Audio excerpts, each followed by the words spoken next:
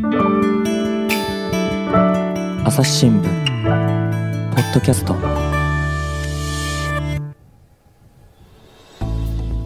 朝日新聞の神田大輔です。えー今回はですね東京経済部の記者土井新平さんに来てもらいました。土井さんよろしくお願いします、よろしくお願いします。えー今回テーマなんですけどねファックスと聞いてますけれどもファクシミリのことですよね。そうですね。あのーこの間ね、えーデジタル庁っていうのも華々しくデビューしたところですがまだファックスの話ですか？そうなんですよね。あ意外とですね、このまあ皆さんこう普段の生活だとファックスを使う機会っていうのはなかなか減ってると思うんですけども、ままあねちょっとなかなか使わないですよね。あ記者だったらまあ昔他紙に抜かれた時になんかですね夜中にファックスが送られてきて冷や汗をかくっていうことがあったと思うんですけど、えっと、あの他紙に抜かれるっていうのはですね他の新聞にですねスクープを書かれるっていうことですよね。ちなみにあの今はそのファックスは使わないんですか？今はですねメールでメールしますんでメールが来た時にドキッとするという感じですね。えーお家にファックスありますか？ありますあります。あるんだ。あるんですけども、僕はもうあれですよ。回線の契約をずいぶん前に固定のね回線のうん休止にしてずーっとそのままになってますね、うん。そうですよね。そんなファックスですが。そう。あのーまあ普通の一般の人だと結構使う機会減ってるんですけども民間企業だとですねまだまだファックスが使われているという話なんですよね。うんうん。でまあ経産省の調査でですねまああのーネットの取引がどれぐらいあるかっていう調査があるんですけども、まあ、今年の7月に公表された報告書だとですね、うん。まあ、企業間で、えーネットでどれぐらい取引されるかと。その割合がまあ33.5%ということで、ということはもう残りの7割弱ぐらいはもうファックスとか電話とか、まあ、あとただのメールですね。形式が決まってないメールっていったもうアナログな取引でやられていると。ちょっとこれかなり意外なんですがえその企業全体で見たときに3割ちょっとぐらいの人しかネットの上のシステムって使ってないってことですか？そういうことなんですよね。はあめちゃめちゃなんかこうね時代があまだ進んでないんだなって印象ですけれどもこれってね例えば業界ごとに濃淡とかあったりするんですか？あその通りで、まあ、その調査っていうのは業界別にも分かれてるんですけども、まあ、建設不動産とか13%あ13%しかしかネットをや 使ってないってことそうですいうことです。確かに不動産屋さんとねとあのやり取りするときっていまだになんか紙のねが送られてきますもんね間取りとかね、おっしゃる通りです。はい。であとは運輸業界です。で、まああの物を運んだりするところなんですけど、まあ、これは紙の伝票とかが非常に多くてですね、なかなかあー進んでなくて、これは18%ぐらい。これ確かに自分でも宅急便だ宅配便だってねコンビニなんかでやり取りするときもいまだ紙の伝票ですねあれね、うん。うんそうなんですよね。はい。で、まあ、一方で食品業界とか60%を超えていたりですへね、ー。業界によってかなりばらつきがあるという状況になってるんですよね。しかしですよ、もう今時はもうスマホでね、何でもできる時代じゃないですか、うんだって財布なんか持ってなくたって、スマホがとりあえずあれば、決済できる、電車も乗れるっていう時代なのにもかかわらず、なんでその企業同士のやり取りってね、デジタル化が進まないんですかね。それ一つ、要因の一つってされてるのが、まあ、中小企業の多さですよね。やっぱ、まああの日本のまあ90%以上は中小企業と言われてるんですけども、まあ、大手企業であれば、まあ、デジタル化あに投資するだけの体力があって、まあうん、投資する分だけの、まあ、メリットもあるとうんいうことなんですけども、まあ、中小企業はなかなかその体力がないんですよね。で、あと一つはその受発注受受注発注のシステムっていうのは基本的にはその注文する側も受注する側もこう同じシステムに乗らなくてはいけないと。うんうんうん。でまあ例えばある企業がですね、まあ、受注のシステムを導入するとしてそうしたら注文する側もそのシステムを使ってくれないと、まあ、意味がないですよね。向こうだけファックス送ってこられても意味がない、うん。でできればその、まあ、全ての取引先に一気に変えてほしいと。そうしないと、まあ、取引先の一つがですね、ウェブ発注を使ってくれていても、他のところが引き続きファックスで注文されてきたらですね、もう逆にちょっと手間が一つ増えちゃうと、そんなことにもなりかねないっていうことなんですよね。これね、僕、全く知らない世界なんで教えてほしいんですけれども、例えばあのパソコン用の OS、基本ソフトだと Windows とか iOS とかって、まあ、大体決まってるじゃないですか、そういうこう決まったそのウェブ発注システムになってるっていうことでもないわけですか、ないんですよね。バラバラ。まあ、そういうあのあの大手でですね、うんまあ、そういう共通化していこうという動きももちろんあるんですけども、うんまあ、例えばその飲食店さんがそのシステムに乗れるかっていうとなかなかそういうわけにもいかなくてですね、そういうところが非常に多いっっていうところが一つ課題としてあるんですよね。それぞれの、ね、会社さんで全然違う事業をしてますからね、全部合わせるのは難しいかもしれない、これ、でもその大手はだいぶ進んできてるんですか、まあ、大手もですね、まあ、大手同士の取引であれば、まあ、ドラッグストアとかですね、そういったあー取引であれば結構進んでいたりするんですけども、まうん。あ、あの私は取材したのだと、日用品の大手の花王ですね、取材をしました。で、まあ、業務用の商品、業務用の、まあえーシャンプーであるとか、あーあうん。の消毒液であるとか、うん。そういった商品を扱う会社があるんですけども、その会社が実はもう4年も前からですね、受注のファックスをもう紙やめようということを進めてるんですよね。で、まあ、1日に毎朝ですね、1300枚ぐらいファックスが。せ1300枚も来るんですか、そうなんですよさばくだけで大変ですね。そうなんですよ。しかもですね、そのうちまあ100枚ぐらいは、まあ、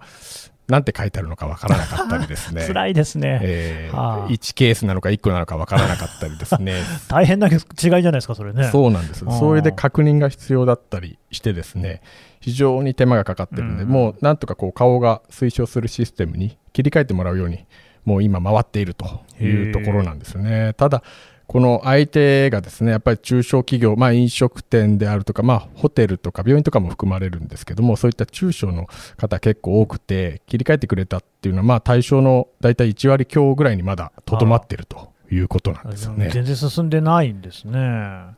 そうなんですよね。うんで、まあ、ただ、今回ですね、そのウェブの18を取り入れたですね、飲食店とか、まあ、衛生用品の会社に取材したんですけども、導入した会社さんは、まあ、作業がですね、相当楽になったということはおっしゃってました。うんうん。やっぱ紙で見ても手作業でやっていった今までと比べるとですね、やっぱミスも減ってですね、まあ、あとはスマホとかですね、パソコン通じて注文できるので、まあ、お店にいなくても注文できると、どこにいても注文できるっていうのが、やっぱりすごい楽になったっていうことをおっしゃってましたね。で、まあ、この2社が導入したのは、まあ、ベンチャー企業のコネクトっていう会社のシステムだったんですけども、これはまあ、受発注でですね、同じシステムを導入していない場合でも、まあ、導入が可能というのが一つの売りでして、で、まあ、注文する側が例えばそのコネクトを使ってスマホで注文しますと。それで、えー受注側の問屋さんが、えーそのシステムを導入していなかったとしても、そこには自動的にコネクトから紙のファックスが届くと いうことで、まあ、片方だけデジタル化ができるっていうシステムにしていて、まあ、それは一つ方法かなというふうに思いました。まあ、やや遠回りっていう感じもしますけれども、とはいえね、やっぱりいろんな人があ使えるシステムっていうのは、これは重要なところですからね。そうですね。いやじゃあ、こうやってデジタル化進んでいきそうですか、うーん。なかなか難しいところはあるんですよね。難しい。はい、でまあ、はい、先ほどの、まあ、経産省の調査でもあったんですけども、はい。まあ、運輸業界っていうのが結構ペーパーレスが進んでない業界で、まあ、はい。そその中でもですね進んでいる一つとして紹介した大塚倉庫っていう、まあ、物流会社さんの社長さんがおっしゃってたんですけども、はい、要は、まあ、みんなこう今のまま人が作業してそれでまあなんとか回ってるんで、まあ、別にそれを変える必要はないというところがやっぱり多いと。うん。でこの会社さんはまあ物流倉庫なんですけど、もういち早くタブレットを入れて、ですね、まああの要は今までだと経験と勘であの商品を集めていたんですけども、うん。それを、まあえータブレットの指示で、えーどの商品を送るかということをできるというふうに変えたりですね、オフィスももうファックス見せてもらったんですけども、もうほとんど紙がなくてですね、もうコピー機が1台あるだけで、ファックスも全部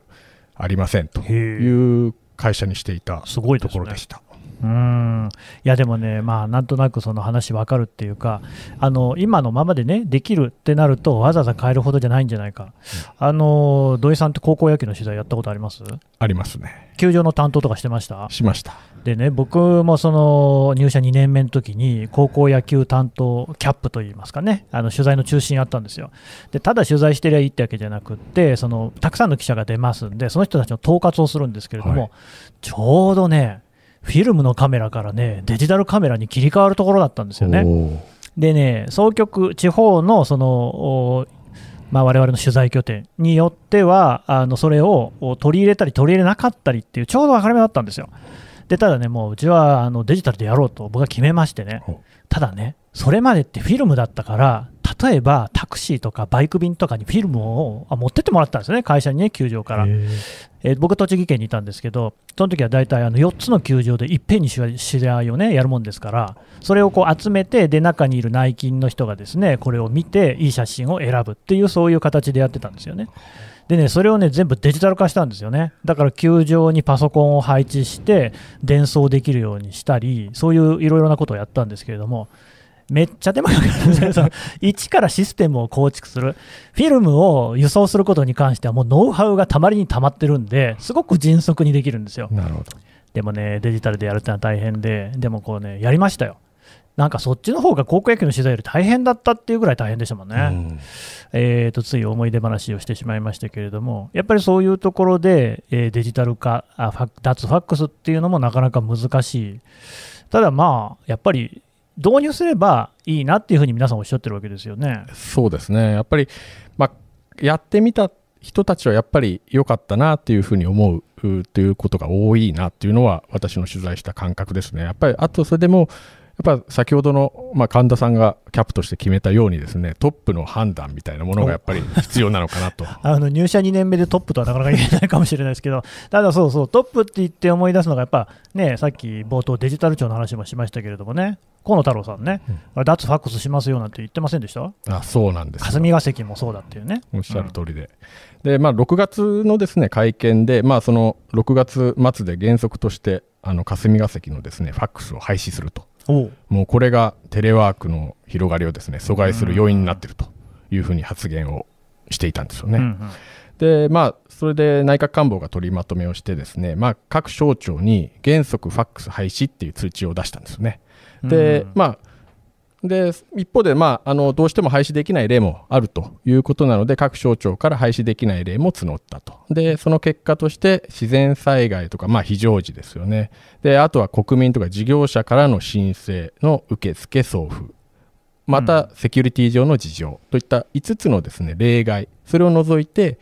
まあ、原則として廃止されることになったと、うん、いいじゃないですか。まあ、でもですね、うん。結構課題は大きいなとあいそうところなんですよね。うんではいそこの課題の一つはですねやっぱり何をどれぐらい廃止してどれぐらい効果があったのかっていうところを、